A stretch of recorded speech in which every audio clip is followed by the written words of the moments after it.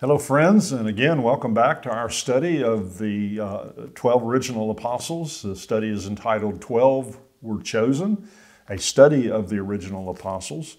We're progressing through these apostles.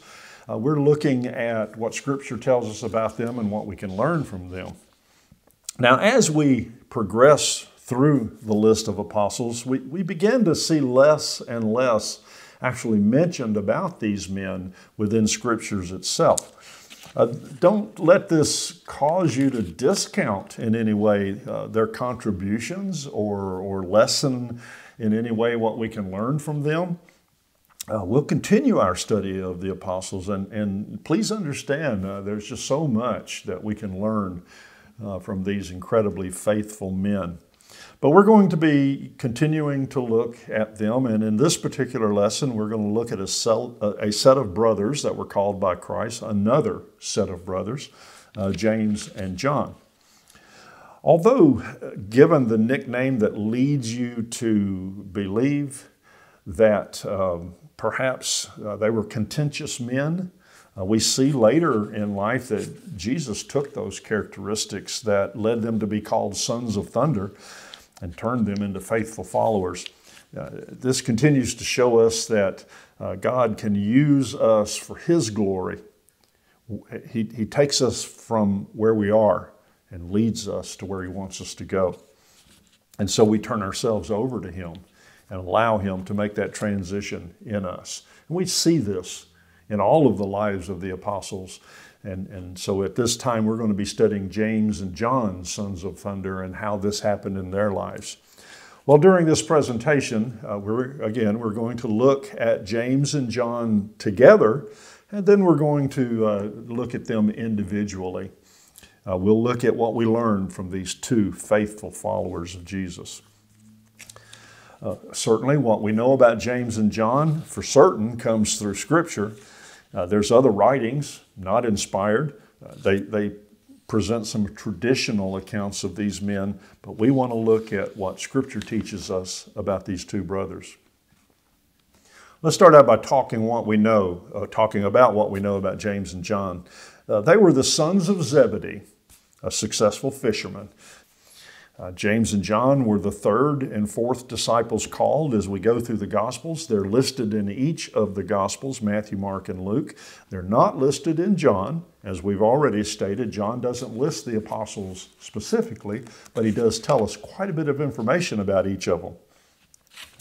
And so, the, again, Matthew, Mark, and Luke. And we also, of course, see him listed, uh, these two men listed in the listing of the apostles in Acts.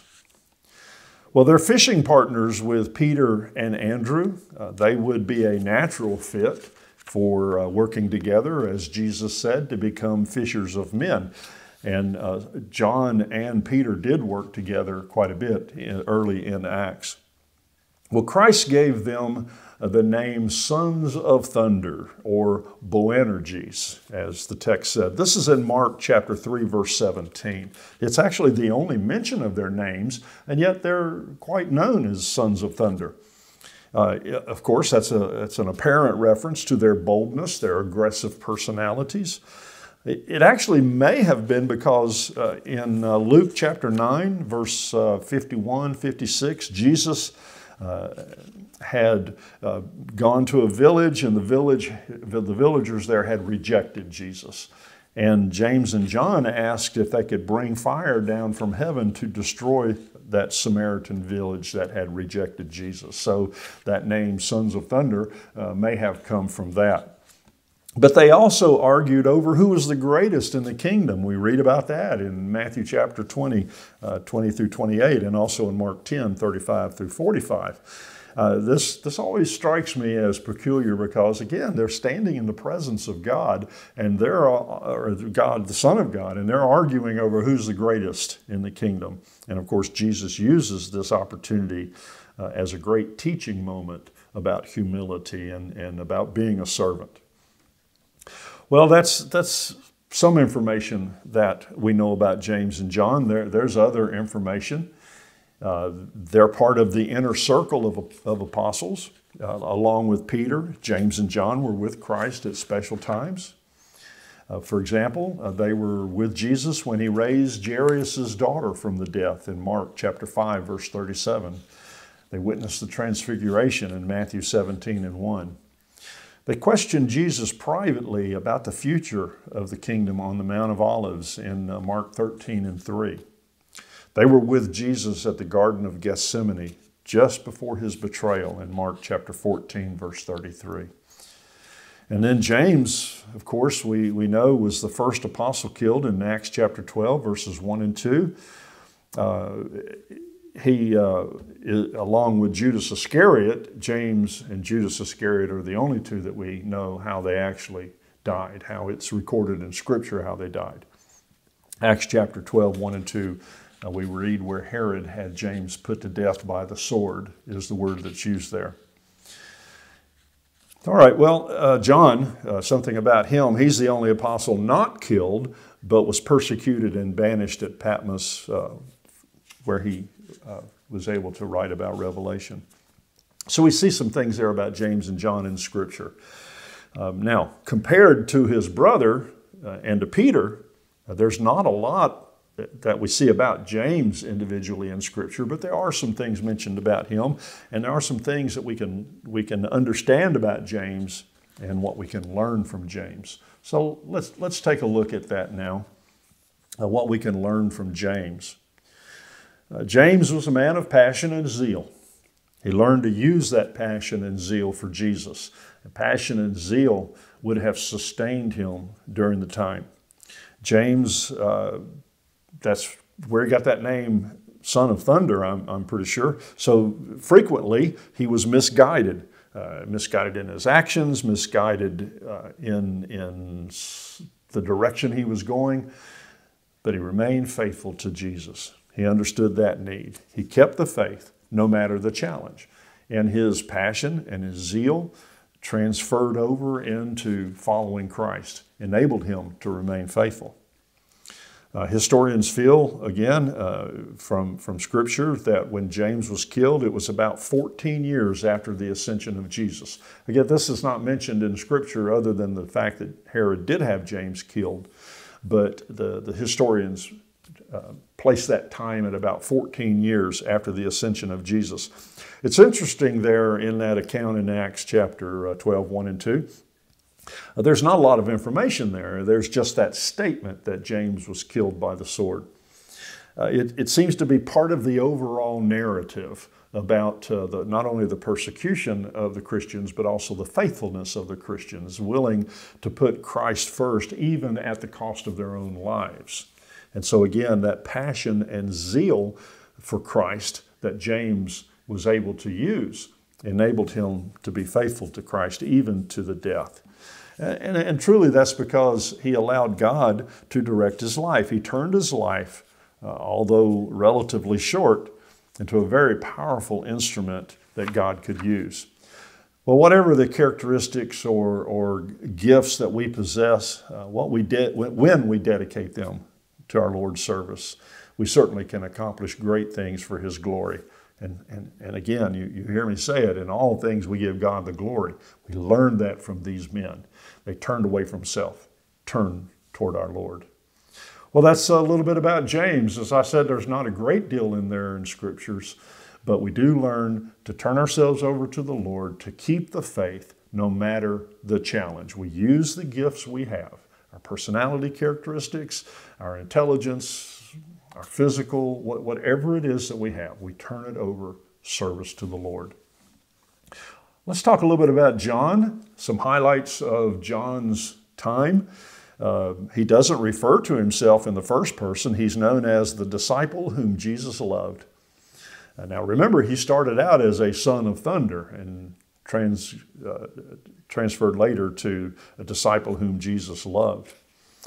Apparently, John was known by the high priest. There's an account in John chapter 18, verse 15. The, scholars feel that the other disciple, as it's used there, was John. He didn't like to use himself in the first person, so uh, he's saying that in a third person sense. Uh, he, he and Peter followed after Jesus when they went to the high priest's house, and John was able to enter into it. And certainly because of that, he was able to witness uh, this initial trial of Jesus. In a very tender moment in John chapter 19, verse 26, John was entrusted with uh, the care of Jesus' mother, Mary.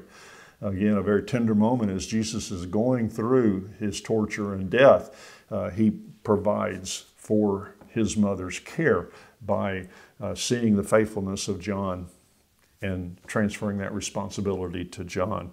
Uh, that, that was a, a moment of, of closeness, not only with Jesus and his mother, but also uh, with John.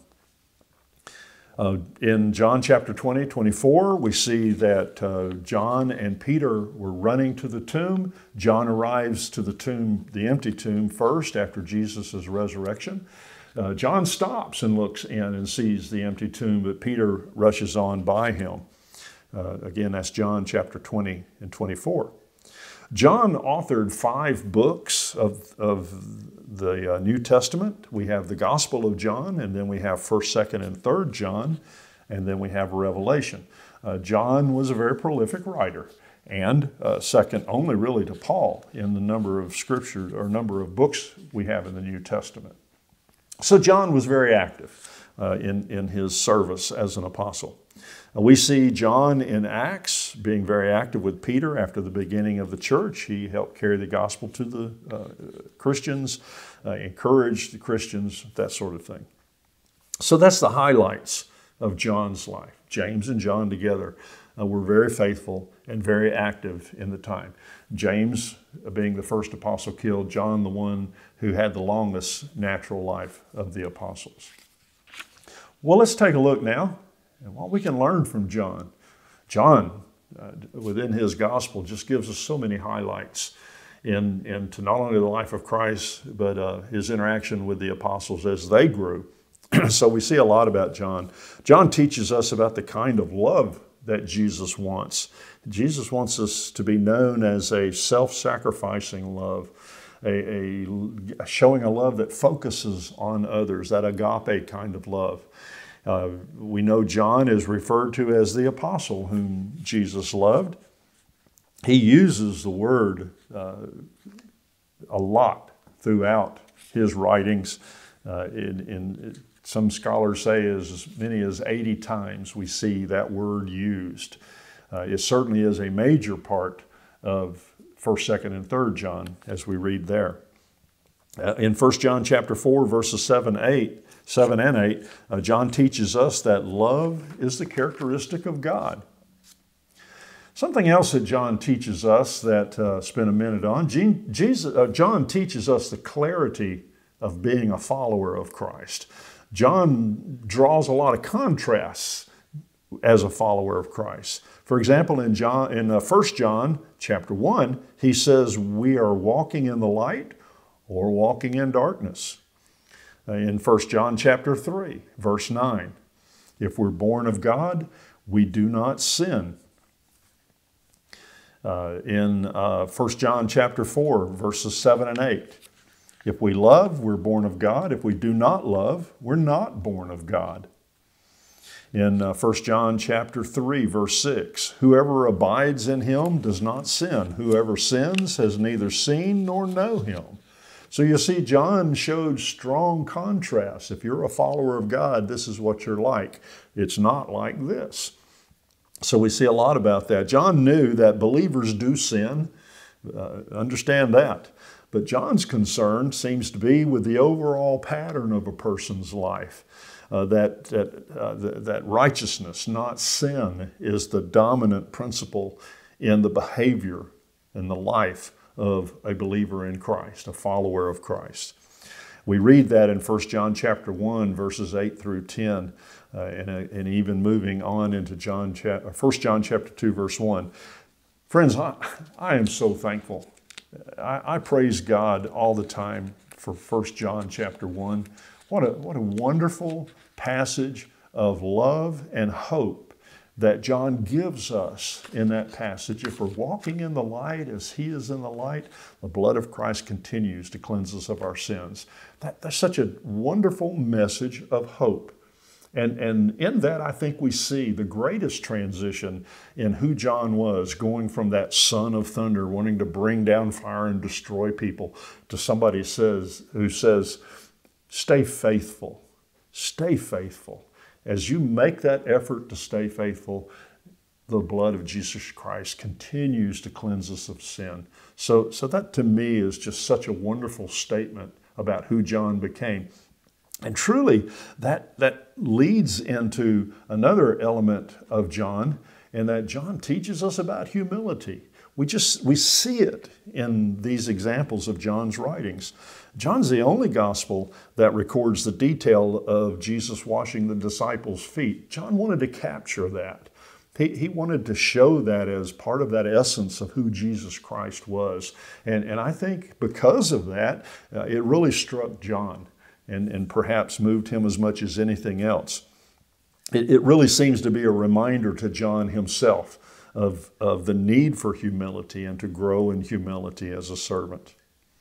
Well, we really don't know a lot about John's death. We, we, we just don't know. It's not mentioned in Scripture. Jesus indicated in John chapter 21, starting in verse 20, that John would not die uh, because of his faith, that, that he would live longer. Um, most historians believe John died in Ephesus, which is modern day Turkey, uh, around AD 98 uh, during the reign of the Emperor Trajan. So John lived a natural life. Uh, this enabled him, of course, to continue teaching and, and, and to continue telling the story of Jesus. Now, although he was persecuted with prison and ultimately banishment, uh, John went from that son of thunder to a peaceful death among the brethren that he so loved. uh, we don't have any specific indication of, of really why um, John was granted this lifetime uh, uh, that the others did not have. I like to think it was a reward because of a lifetime of faithfulness. John continued to grow in his faithfulness, as did the other apostles, but we just see so much clarity of it in the life of John. And that's just an example for us to follow.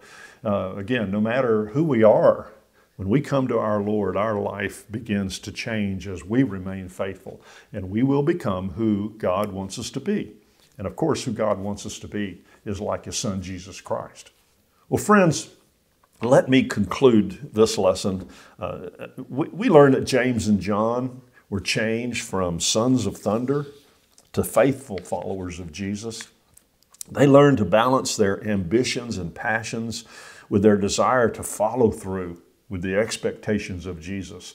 They took the teachings of Jesus, internalized them, and that changed them from sons of thunder into faithful followers. And, and really, that's a great lesson for us. We look at our lives and, and we change from focus on serving self to focusing on serving Jesus. I like to think about songs that the different apostles would enjoy singing with us today. I think James would have loved that simple song that we sing, the servant song Lord, make me a servant. Lord, make me like you. For you are a servant. Make me one too. Lord, make me a servant. Do what you must do. To make me a servant, make me like you. I, really truly think James would have enjoyed that song. John would have enjoyed it too, but there's another song that I think James, or excuse me, John would have would have really loved to sing, especially the third verse of I'll Be a Friend to Jesus. that song, that verse says, To all who need a Savior, my friend, I recommend. Because he brought salvation is why I am his friend. I'll be a friend to Jesus, my life for him I'll spend. I'll be a friend to Jesus until my years shall end. John went from son of thunder to a dedicated, lifelong follower of Christ. And, and our Lord granted him long life, and he used every breath of that life to praise and to glorify our Lord and to teach others about love and the kind of love that Jesus expects. He was a friend to Jesus. Well, friends, uh, this, this concludes our lesson on James and John. And our next lesson, we're going to look at Philip and Nathaniel uh, friends to all. I, I, really appreciate that uh, you've taken the time to participate in this class. And remember, in all things, we give God the glory. Thank you.